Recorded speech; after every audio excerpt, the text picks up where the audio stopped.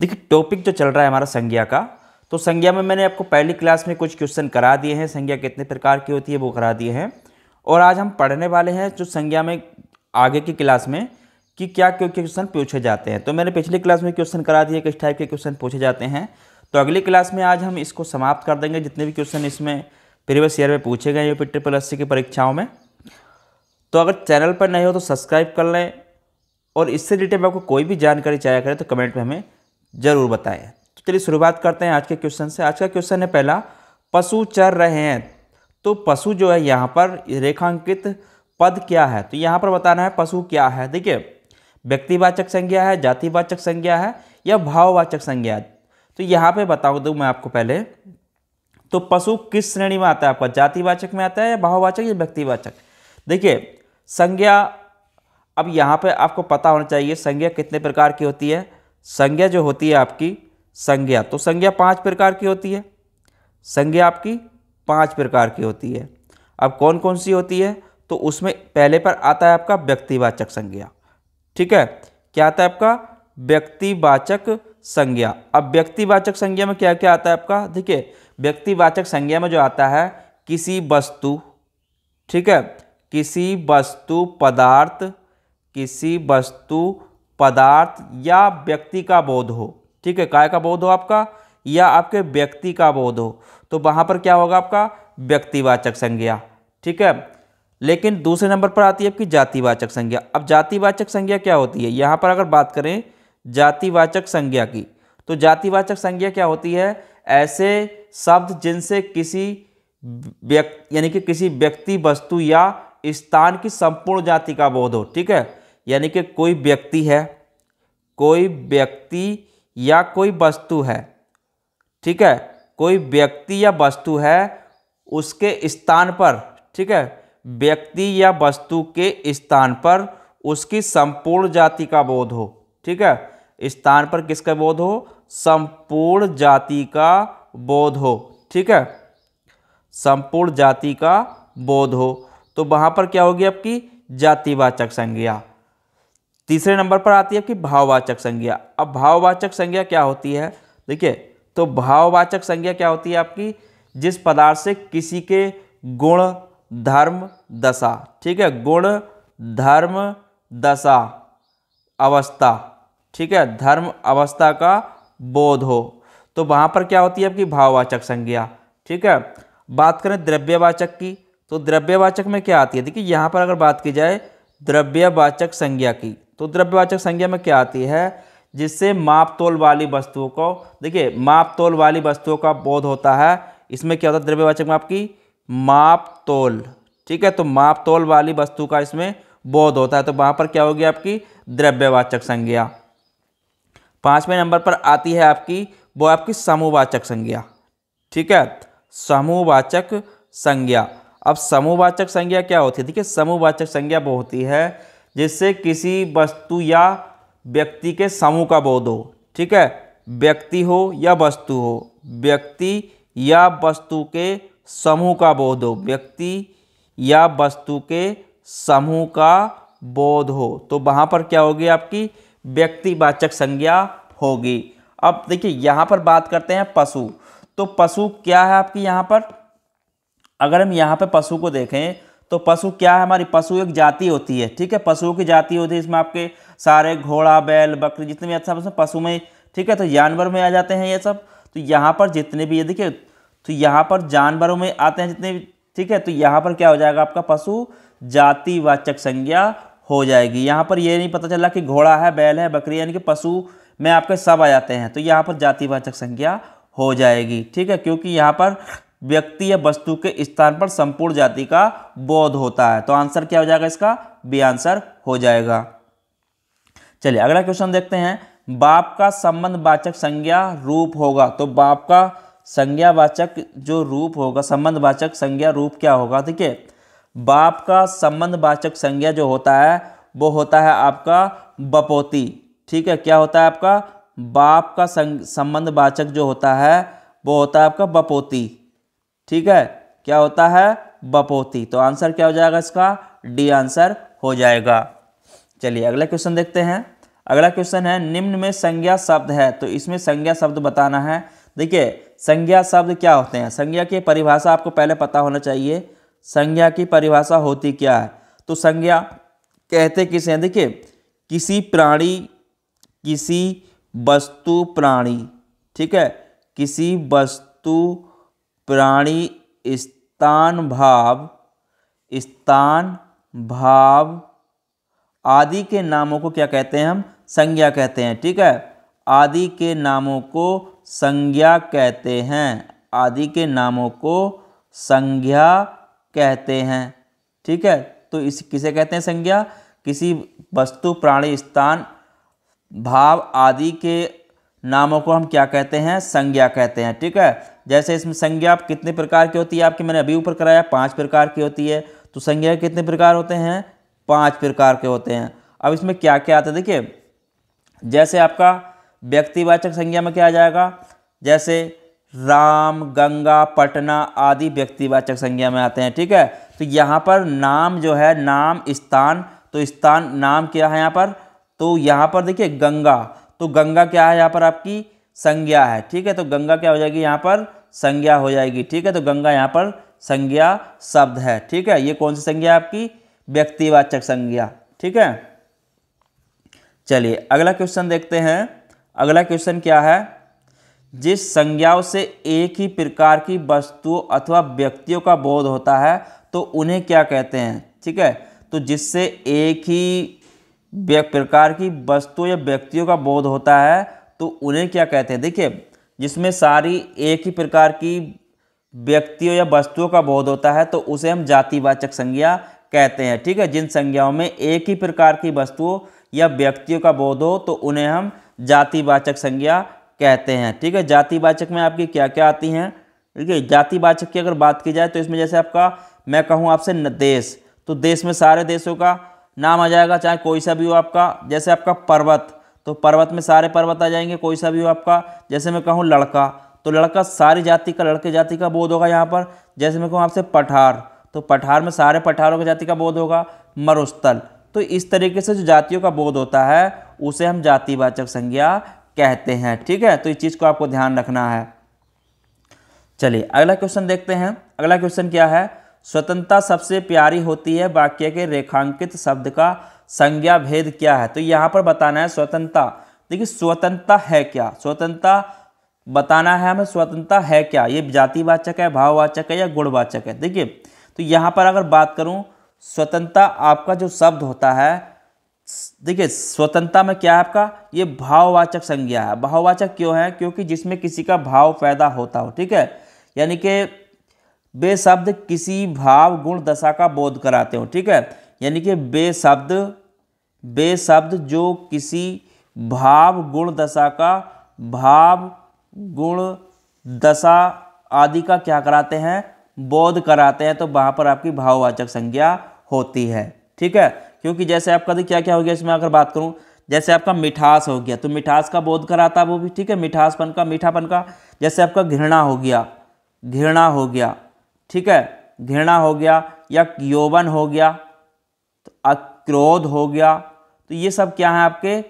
सब भाववाचक संज्ञा हैं, ठीक है? ये क्या सब आपकी? भाववाचक संज्ञा होती है, ठीक है? तो यहाँ पर स्वतंत्रता क्या होगा आपका? भाववाचक संज्ञा हो जाएगा। चलिए, अगला क्वेश्चन है, निम्नलिखित में से किस विकल्प में सभी शब्द भाववाचक संज्ञा हैं? देखिए, यहाँ पर अगर बात करें, भाववाचक संज्ञा कौन से हैं सभी? तो यहाँ पर सभी को बताना है। देखिए, यहाँ पर अगर हम देखें तो सब में भाववाचक संज्ञा कौन सी है? देखिए अमीर, गरीब, समूह। तो यहाँ पर समूह जो है, ये आपका भाववाचक संज्ञा नहीं है, ठीक है? ये भाववाचक संज्ञा नहीं है। ये क्या आपका? तो यहाँ पर ये आपका भाववाचक संज्ञा नहीं है, क्योंकि देखिए तो ये आपका समूहवाचक संज्ञा है, ठीक है? ये क्या है यहाँ पर आपका? समूहवाचक संज्ञा तो ये आपका आंसर नहीं होगा, ठीक है? तो यहाँ पर समूह क्या आपका? समूहवाचक संज्ञा है। उसके बाद अगला ऑप्शन देखते हैं, जवानी, खटास, पुस्तक गंगा। तो यहाँ पर देखिए, गंगा को अगर देखें यहाँ पर तो गंगा क्या है? तो गंगा, अभी मैंने आपको बताया तो गंगा यहाँ पर जातिवाचक संज्ञा है, ठीक है? गंगा क्या है यहाँ पर आपकी? जातिवाचक संज्ञा है, ठीक है? गंगा क्या है यहाँ पर? जातिवाचक संज्ञा है। उसके बाद आगे देखते हैं, रसीला, कड़वाहट, बुढ़ापा, उन्नति। तो यहाँ पर सारे क्या है आपके ये? भाववाचक संज्ञा है, ठीक है? ये क्या है यहाँ पर? सारी आपकी भाववाचक संज्ञा है, ठीक है? आगे तो यहाँ पर सब आपकी भाववाचक संज्ञा, ठीक है? तो आंसर क्या हो जाएगा इसका? सी आंसर हो जाएगा। चलिए, अगला क्वेश्चन देखते हैं। देखिए, यहाँ पर सूर्य आपका भाववाचक संज्ञा नहीं है, बाकी आपके धैर्य, चलाकी, उदासी भाववाचक संज्ञा है, ठीक है? चलिए, अगला क्वेश्चन देखते हैं। जातिवाचक संज्ञा शब्द है तो इसमें जातिवाचक संज्ञा शब्द बताना है। जातिवाचक संज्ञा शब्द कौन सा है? तो यहाँ पर अगर बात करें जातिवाचक संज्ञा शब्द कौन सा? देखिए, जातिवाचक संज्ञा शब्द वे होते हैं जो संपूर्ण जाति का बोध कराते हैं। यानी कि जो संपूर्ण जाति का क्या कराते हैं? बोध कराते हैं। संपूर्ण जाति का क्या कराते हैं? बोध कराते हैं तो वो जातिवाचक संज्ञा होते हैं। ठीक है? जैसे मैं कहूँ, आपका जातिवाचक संज्ञा में होते क्या क्या हैं? देखिए, जातिवाचक संज्ञा में क्या क्या होते हैं आपके? जैसे मैं कहूँ आपका मनुष्य हो गया। तो मनुष्य पूरी संपूर्ण जाति का बोध कराता है, ठीक है? जैसे मैं कहूँ आपसे नदी तो नदी सारी नदियों का बोध कराती है, ठीक है? तो ये जितने भी हैं आपके, अब देखिए भैंस होता है तो भैंस में बहुत सारी नस्लें होती हैं, ठीक है? जैसे वकील होता है तो वकील में आपके मेल, फीमेल सभी हो सकते हैं, ठीक है? नगर होता है, नगर, डॉक्टर, ये सब क्या है आपके जातिवाचक संज्ञा हैं, ठीक है? तो इस चीज़ का आपको ध्यान रखना है। जो किसी संपूर्ण जाति का बोध कराता हो, वहाँ पर आपकी जातिवाचक संज्ञा होगी। तो यहाँ पर आपका ऑप्शन क्या हो जाएगा? वकील, यहाँ पर जातिवाचक संज्ञा है। ठीक है तो आंसर इसका डी हो जाएगा। अगला क्वेश्चन है, निम्नलिखित विकल्पों में से किस विकल्प में सभी शब्द व्यक्तिवाचक संज्ञाएँ हैं? ठीक है तो यहाँ पर बताना हमें, जो सभी हैं, वो व्यक्तिवाचक संज्ञाएँ हैं। देखिए, व्यक्तिवाचक संज्ञा कहते किसे हैं? जो वह संज्ञा जो किसी व्यक्ति या वस्तु स्थान का बोध कराती है। व्यक्तिवाचक संज्ञा क्या होती है? अब यहाँ पर अगर व्यक्तिवाचक संज्ञा की बात करें तो व्यक्तिवाचक संज्ञा क्या कराती है? किसी व्यक्ति वस्तु स्थान का बोध कराती है, ठीक है? किसी वस्तु व्यक्ति स्थान का बोध कराती है। वस्तु व्यक्ति या स्थान का बोध कराती है तो वहाँ पर क्या होती है आपकी? व्यक्तिवाचक संज्ञा होती है। जैसे यहाँ पर अगर ऑप्शन के अनुसार देखें, देखिए, यहाँ पर अगर हम देखते हैं राम तो राम यहाँ पर आपका व्यक्तिवाचक संज्ञा है, ठीक है? रामचरित मानस यहाँ पर व्यक्तिवाचक संज्ञा है, गंगा भी यहाँ पर आपका व्यक्तिवाचक संज्ञा है, ठीक है? तो यहाँ पर जितने भी हैं, यहाँ पर ये क्या हो गया, आपकी व्यक्तिवाचक संज्ञा हो गई, ठीक है? तो आंसर क्या हो जाएगा इसका? ऑप्शन नंबर ए ही इसका आंसर हो जाएगा। ठीक है? तो ये जो, देखिए तो इसमें आपका जैसे मैं कहूँ, कोई भी स्थान हो, स्थान में क्या, वस्तु में क्या क्या आ गया आपका? वस्तु में देखिए, चाहे नाम हो, व्यक्ति हो, जैसे कहता हूँ मैं मोहन तो मोहन व्यक्ति हो सकता है, कोई वस्तु हो, ठीक है? तो इस तरीके से जब स्थान कह दूँ मैं आपका, पटना हो गया, पटना हो गया तो ये सब काय में आते हैं आपके? सब व्यक्तिवाचक संज्ञा में आते हैं। चलिए अगला क्वेश्चन देखते हैं। राज्यपाल में कौन सा संज्ञा है? तो राज्यपाल में कौन सा संज्ञा है? देखिए, राज्यपाल में जो होगा यहाँ पर तो यहाँ पर राज्यपाल एक ही पद, एक ही थोड़ा ही होता है राज्यपाल। तो राज्यपाल में बहुत होते हैं। ठीक है, कई सारे राज्यपाल हो सकते हैं। तो यहाँ पर राज्यपाल क्या होगा आपकी? राज्यपाल की जातियों का बोध करा रहा है। तो यहाँ पर राज्यपाल आपकी जातिवाचक संज्ञा होगी। ठीक है, क्या होगी? यहाँ पर राज्यपाल जातिवाचक संज्ञा होगी, क्योंकि राज्यपाल जिन संज्ञाओं से एक ही प्रकार की वस्तुओं का बोध होता है, उन्हें हम जातिवाचक संज्ञा कहते हैं। इसमें क्या क्या आ सकते हैं राज्यपाल? देखिए तो यहाँ पर जातिवाचक संज्ञा में आपके क्या क्या आ सकते हैं? यहाँ पर आपके, यहाँ पर देखिए, संबंधियों में अगर बात करूँ, व्यवसाय से संबंधित हो सकते हैं। ठीक है, काय से संबंधित होते हैं आपके? व्यवसाय से संबंधित हो सकते हैं यहाँ पर आपके। ठीक है, व्यवसाय संबंधित होते हैं, पदों से संबंधित हो सकते हैं कार्यों के नाम से संबंधित हो सकते हैं तो वहाँ पर क्या होगी? आपकी जातिवाचक संज्ञा होगी, ठीक है? जैसे इसमें आपका आ गया, बहन आ गया तो बहन भी आपकी जातिवाचक संज्ञा में आ जाएगा, भाई आ जाएगा तो ये भी आपका जातिवाचक संज्ञा में आ जाएगा, अध्यापक हो तो अध्यापक भी आपका जातिवाचक संज्ञा में आता है, मंत्री हो तो मंत्री भी आपका जातिवाचक संज्ञा में आता है, चोर भी आपका जातिवाचक संज्ञा में ही आते हैं। तो राज्यपाल, यहाँ पर क्या आपका जातिवाचक संज्ञा है, ठीक है? चलिए, अगला क्वेश्चन देखते हैं। निम्नलिखित में से कौन सी भाववाचक संज्ञा है? तो इनमें से कौन सी भाववाचक संज्ञा है? तो भाववाचक संज्ञा की अगर बात की जाए तो इनमें कौन सी भाववाचक संज्ञा थी कि भाववाचक संज्ञा होती क्या है? तो भाववाचक संज्ञा उसे कहते हैं जो शब्द किसी, अब यहाँ पे एक चीज़ नोट कर लें आप, ठीक है? भाववाचक संज्ञा। तो यहाँ पे अगर बात करूँ, भाववाचक संज्ञा तो भाववाचक संज्ञा से किसी भाव ठीक है? किसी भाव, गुण, दशा आदि का क्या होता है? बोध होता है। ठीक है? गुण, भाव, दशा आदि का बोध होता है। तो यहाँ पर देखिए, जैसे कहूँ मैं आपकी? जैसे मित्रता हो गया। यहाँ पर क्या है आपका? मित्रता। तो मित्रता में भाव है मित्रता का। जैसे मैं कहूँ आपसे पवित्रता। ठीक है? पवित्रता। या कहूँ मैं आपसे बुढ़ापा। बुढ़ापा। या मैं कहूँ घबराहट। ठीक है? घबराहट तो ये सब क्या होगी आपकी? भाववाचक हैं, ठीक है? घबराहट का भाव होगा उसमें, ठीक है? जैसे मैं कहूँ मानवता तो मानवता का भाव हो सकता है उसमें, या मैं कहूँ आपसे मूर्खता तो मूर्खता का उसमें भाव हो सकता है, ठीक है? तो ये शब्द क्या हैं सारे? ये सब आपके भाववाचक संज्ञा में आते हैं। तो यहाँ पर मित्रता क्या आपका? भाववाचक संज्ञा है, ठीक है? तो इस चीज़ को आपको ध्यान रखना है। देखिए, यहाँ पर अगर भारत की बात करूँ तो भारत क्या है यहाँ पर आपका व्यक्तिवाचक संज्ञा है? ठीक है, ये क्या आपका व्यक्तिवाचक संज्ञा है? लड़का, अगर लड़के की बात की जाए तो लड़का आपका जातिवाचक संज्ञा है। ठीक है, लड़का क्या आपका जातिवाचक संज्ञा है, ठीक है? तो इस चीज़ का आपको ध्यान रखना है, जिसकी भी पूछता है तो उसका हमें आंसर आराम से दे देना है, ठीक है? तो यहाँ पर आपका, ये आपका भाववाचक संज्ञा हो जाएगा मित्रता।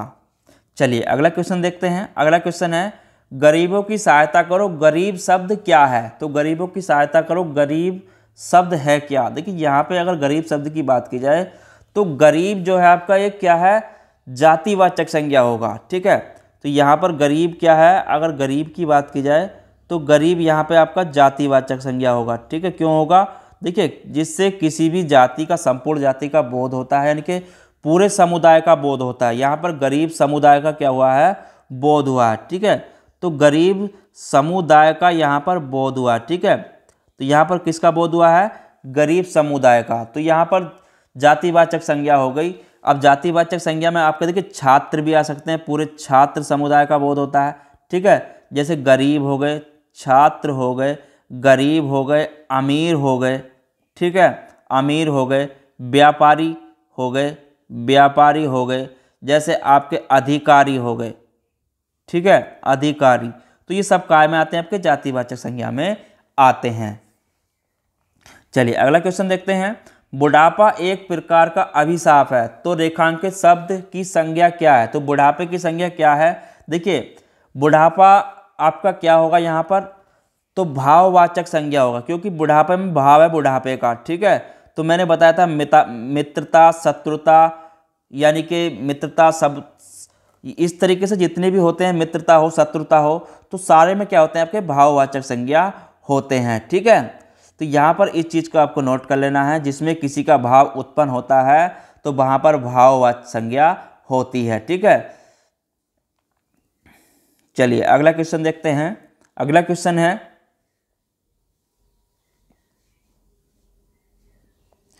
लड़का दौड़ता है। इस वाक्य में लड़का किस संज्ञा का उदाहरण है? तो लड़का दौड़ता है, लड़का किस संज्ञा का उदाहरण है? देखिए, लड़के की बात की जाए तो मैंने अभी बताया था लड़का यहाँ पर आपका जातिवाचक संज्ञा का उदाहरण है। ठीक है, क्यों? क्योंकि यहाँ पर सारे लड़के जाति का यहाँ पर ये बोध कराता है। ठीक है, कि यहाँ के संपूर्ण जाति समुदाय का ये बोध करा रहा है, संपूर्ण लड़कों का। जैसे आपका लड़का हो गया, जातिवाचक संज्ञा में आते क्या क्या देखिए, यहाँ पर नोट कर लेना। जो संपूर्ण जाति का क्या कराता है? बोध कराता है। वहाँ पर आपकी जातिवाचक संज्ञा होती है। जैसे आपका लड़का हो गया या आपकी लड़की हो गई, ठीक है? या लड़की हो गई, सारी संपूर्ण लड़की या आपका जानवर हो गया, आपका जानवर हो गया, पशु हो गया या आपका पक्षी हो गया। तो ये सारी पक्षी जाति का बोध कराएँगे पशु जाति का बोध कराएँगे तो इस तरीके से एक अपनी जाति का बोध कराते हैं। वहाँ पर जातिवाचक संज्ञा होती है, ठीक है? चलिए, अगला क्वेश्चन देखते हैं। लकड़ी कौन सा संज्ञा का भेद है? लकड़ी तो लकड़ी की यहाँ पे अगर बात की जाए तो लकड़ी क्या है? देखिए, यहाँ पर लकड़ी की अगर बात की जाए तो लकड़ी है क्या? देखिए, जिस शब्द संज्ञा से किसी, यहाँ पर एक चीज़ आपको ध्यान रखना है, जिस शब्द संज्ञा से किसी धातु, ठीक है, किस चीज़ का धातु हो, या आपका द्रव्य हो, या आपका सामग्री हो, ठीक है, क्या हो आपकी? सामग्री हो या पदार्थ का बोध हो, ठीक है? काय का बोध हो? पदार्थ का बोध हो। पदार्थ का बोध हो। तो वहाँ पर जो होती है, वहाँ आपकी द्रव्यवाचक संज्ञा होती है। ठीक है? क्या होती है आपकी? द्रव्यवाचक संज्ञा होती है। ठीक है? तो यहाँ पर उसे हम क्या कहते हैं? द्रव्यवाचक संज्ञा कहते हैं। तो यहाँ पर आपकी क्या क्या हो सकती है इसमें आपकी? सोना भी हो सकता है, ठीक है? लोहा भी हो सकता है और आपका चांदी भी हो सकती है और आपकी लकड़ी भी हो सकती है, ठीक है? लकड़ी भी हो सकती है, पानी भी हो सकता है, गेहूँ भी हो सकता है, ठीक है? तो यहाँ पर देखिए, धातु, गैसीय और पदार्थ जो होते हैं, ये सभी आपके काय में आते हैं, आपके द्रव्यवाचक संज्ञा में आते हैं, ठीक है? तो लकड़ी यहाँ पर क्या आपकी द्रव्यवाचक संज्ञा है। लकड़ी यहाँ पर आपकी द्रव्यवाचक संज्ञा है। ठीक है? चलिए, अगला क्वेश्चन देखते हैं। अगला क्वेश्चन है, निम्नलिखित में से कौन सा शब्द जातिवाचक संज्ञा नहीं है? तो यहाँ पर जातिवाचक संज्ञा कौन सा नहीं है? देखिए, यहाँ पर अगर बात करें तो जातिवाचक संज्ञा नहीं है। देखिए, यहाँ पर अगर जातिवाचक की बात की जाए तो जातिवाचक होते क्या? देखिए वो शब्द होते हैं जो किसी पूरी जाति का बोध कराते हैं, ठीक है? तो यहाँ पर अगर बात की जाए, अगर जवान की तो पूरी जाति का बोध कराने जवान, बालक मनुष्य, ये क्या है आपके? जातिवाचक जवान भी आपका जातिवाचक है, बालक भी, मनुष्य भी। लेकिन सुंदर यहाँ पर आपकी जातिवाचक संज्ञा नहीं है। सुंदर क्या आपका यहाँ पर? विशेषण है, ठीक है? ये क्या आपका यहाँ पर? विशेषण है, सुंदर। तो यहाँ पर जातिवाचक संज्ञा कौन सा नहीं है आपका? सुंदर जातिवाचक संज्ञा नहीं है, ठीक है?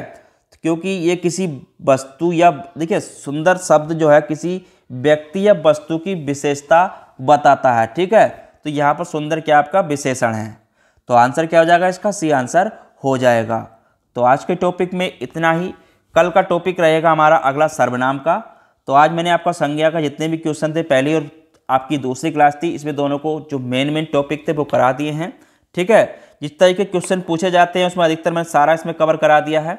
अगर आप चैनल पर अभी भी नए हो तो चैनल को सब्सक्राइब कर लें वीडियो अच्छी लगी हो तो लाइक करें। इससे रिलेटेड कोई भी जानकारी चाहिए तो कमेंट पर हमें ज़रूर बताएँ। या हमारा व्हाट्सएप नंबर कमेंट में दिया हुआ है। उस पर जाकर भी हमें मैसेज ज़रूर करें। हम उसका आपको रिप्लाई ज़रूर देंगे। तो चलिए फिर मिलते हैं अगली क्लास में, जब तक के लिए धन्यवाद।